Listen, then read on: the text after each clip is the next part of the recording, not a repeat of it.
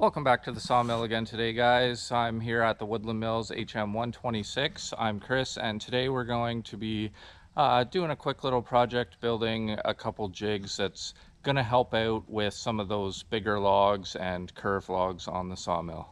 Now, for those of you that have been sawmilling for a while, you're going to know exactly what I'm talking about. For those of you that are just getting into it, I'll just give you a brief explanation that um, you can see your log stops that your log sits against. The mill passes fairly close to those because this is supposed to be the edge of your log and it can cut from there all the way over to almost the other side of the track. Um, the issue that you'll sometimes run into is when you get um, a big log, and when I say big, um, it's relative to the size of your sawmill. So if you have uh, HM122 a big log for that sawmill is, you know, probably somewhere in the 20 to 22 inch range, where the 126, something approaching a 26 inch log, and etc. for the 130, something approaching a 30 inch log is what I mean by big. And basically, what happens some of the times once you get a big log on the mill is if it has some sort of curve or something like that in it, it can actually stick out this way past these stops a little bit and then what'll happen is the mill will come and start butting rubbing up into the log there and it won't let the mill pass through. Okay so when you run into the issue of your log sticking too far past your log stops and the mill's bumping into it there's basically three solutions um, that are the most common that I've come across. The first one being if it's in a small area where it's like a bump out on the log or maybe it just sticks out right at the end. I've seen a lot of people, including myself, you could just fire up your chainsaw and cut that part of the log out. Um, so that's an easy way. The main detractor from doing that is let's suppose maybe that you want to make that log into some live edge slabs. You might not want to cut that part off so that could be a reason why you don't want to do that. Um, another thing that I've seen people do is they'll and I've had this recommended to me I've used this quite a bit before too just stick a 2x4 or something up against your log stops and that'll actually hold the log out this way a bit more so that works great. Also and the third thing you can do is just to kind of reverse the way the log's oriented so the curve sticks this way and that might actually give your mill enough room to pass through it. Um, the one big downfall of doing that, especially with big logs is once you have it on the mill um, if you have nice big equipment that you can do it easily with great um, if you're more into using cant hooks and that you really have to be careful because especially with the curve in the log when you're trying to rotate it this way you don't have any log stops so you really got to be careful that the log doesn't just come back at you and roll right off the mill on top of you so that's uh, kind of my big negative towards doing it that way and of course you could say, oh, why didn't you just put it on the mill in the best oriented way possible? Sometimes that's easier said than done. Um, sometimes the log just kind of, especially the bigger ones, they want to sit how they want to sit sometimes and it's hard to get it lined up perfectly right off the bat. So anyways, now that we're done with that explanation, I'm gonna build up a jig that is kind of in a similar idea to shimming it out with 2x4s, but I just wanted something a little bit more permanent, a little bit easier, and with some uh, different options so that it's nice and easy and I don't always have to go looking for different shim sizes and whatnot to get it shimmed out to the right spot. So because uh, this is a pretty small project, I didn't go make up any official plans or anything like that. I kind of just got them in my head. The first thing I'm gonna do is take one of these scrap boards that I keep around for little projects like this. And I know that I'm, for my personal plan, I'm gonna wanna rip this one down to six and a half inches. I think this is gonna work good for the size of trees I have here on the farm. So I'm gonna rip this down to six and a half inches and go from there.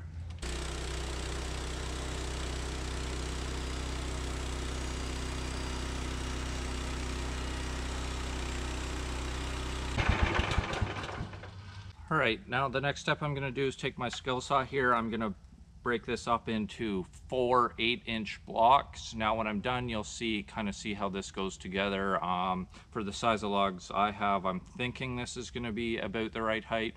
This is my first trial run at building one of these jigs, so I'm pretty sure that's gonna work for me, but uh, when you see how it all works out, if you think a different length will work better for you, then that's up to you. But uh, I'm gonna do four eight inch blocks right now out of this.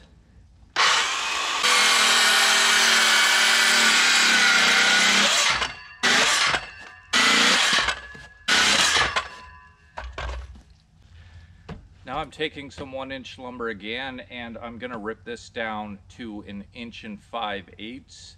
This measurement is fairly important to get quite accurate because uh, the jig that I'm building is going around the log stops.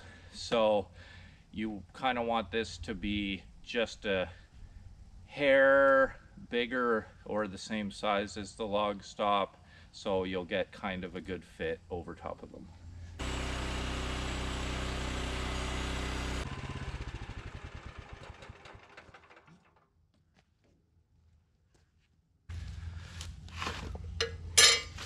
And now I'll just repeat the process with this and I'm gonna break this down into four eight inch pieces again.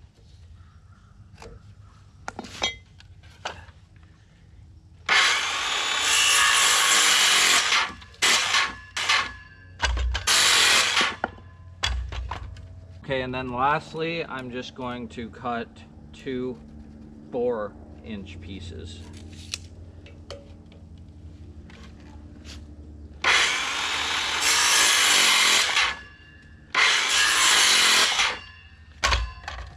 There, that should be all the material that I need and I can get go ahead start putting this together. Okay guys, so I've cut up enough pieces to make two of these. That's what I'm to be predominantly using. I usually use two log stops. I know if you uh, cut really long lumber and have more bed extensions than I do, maybe you'd want a third one. But uh, for now, I'm going to do two and I'm only going to show you building one. So I'm going to use half of the material that we cut up, which is two of these the biggest pieces, which are the six and a half by eight and a half by one inch thick. Then I'm going to use two of these pieces we cut up, which are the uh, eight inch by one one and five eighths by one inch, and then one of the smaller pieces, which is four inches long by inch and five eighths by one inch. So the first thing I'll do is take my tape measure and just hook it on widthwise like this, and I'm gonna mark it at three inches here, and then I'm going to mark it at four and 5 eighths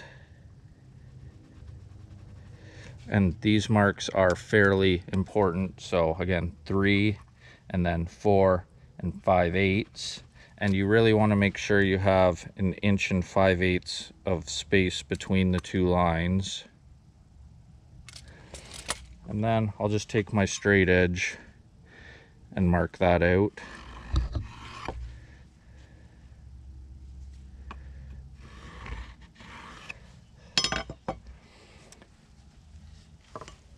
then what I'm going to do is take one of these smaller pieces and you want to make sure that you're putting this on the outside of the line. So nothing should go in here because this is where your log stop's gonna uh, sit. So on the underside you want this on the outside of this line. So I'm gonna nail that on now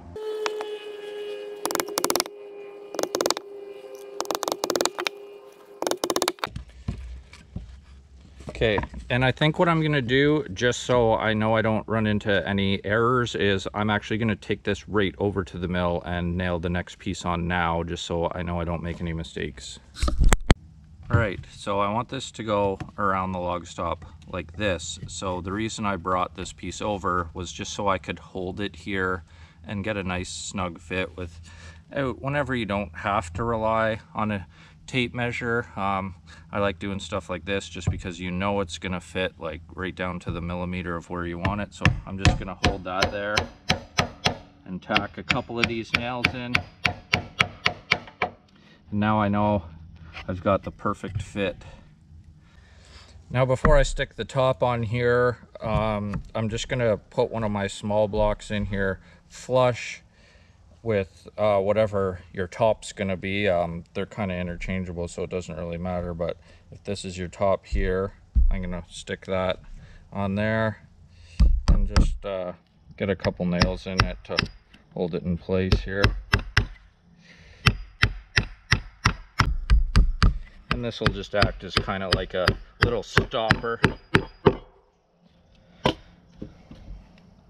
And I've got some nails pre-started in this piece here because I almost forgot to put that little piece in there before I nailed this on.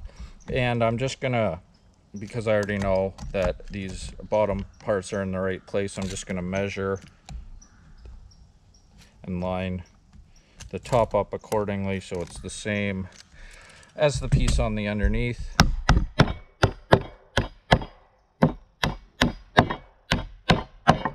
And just nail the other side in and that'll be the first jig complete.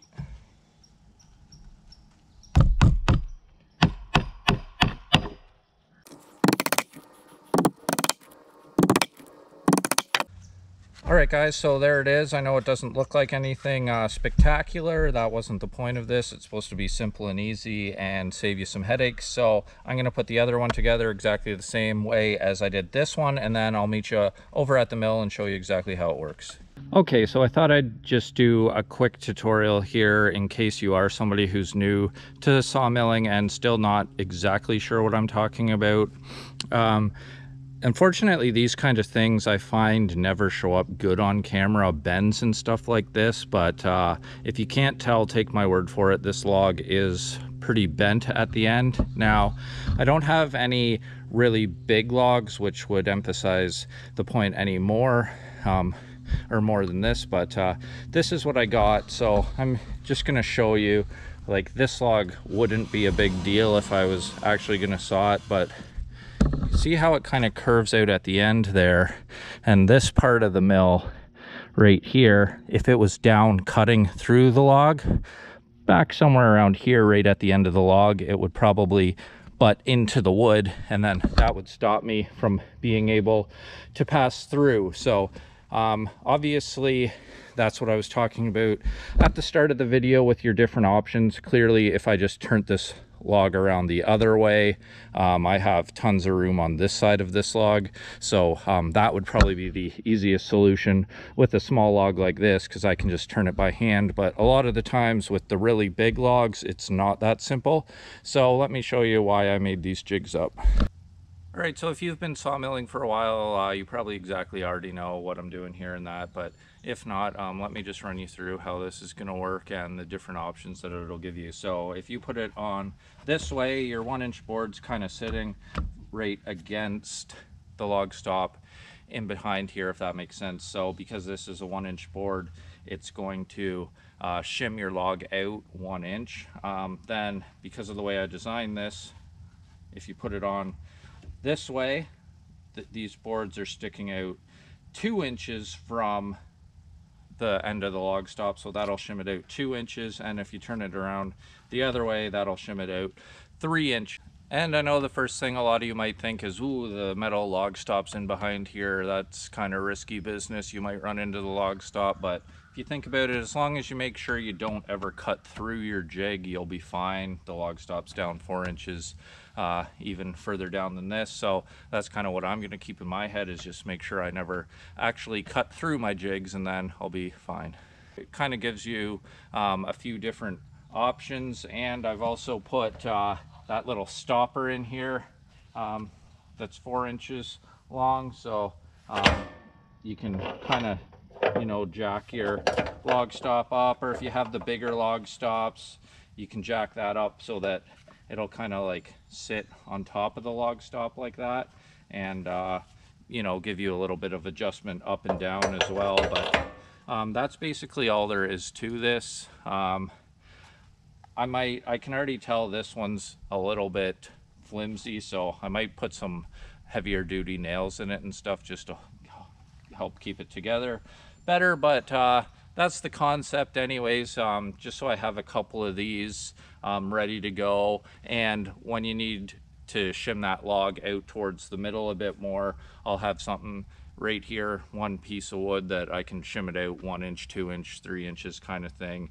And it gives me the options to do that. So um, just kind of a quick, easy jig that you could build so that uh, um, you have it on hand and when you run into that issue as i know i do a lot with the cedar um, some people maybe all your forests are nice and perfectly straight that'd be great but i know for a lot of us we run into those curved logs all the time and it's usually not until you have it up here and set in place that you realize it so i think having something like this on hand for those occasions is a good idea. Gives you a few different options of uh, uh, the distance you can shim it out all in one piece and then you're not trying to run around trying to find a little block of one inch lumber or two inch lumber and that even though you have uh, lots of it around the sawmill probably usually uh, just having one of these on hand isn't a bad idea either. So anyways guys I just wanted to share that little project with you today. Um, I really appreciate you watching. Thanks a lot and I'll see you next time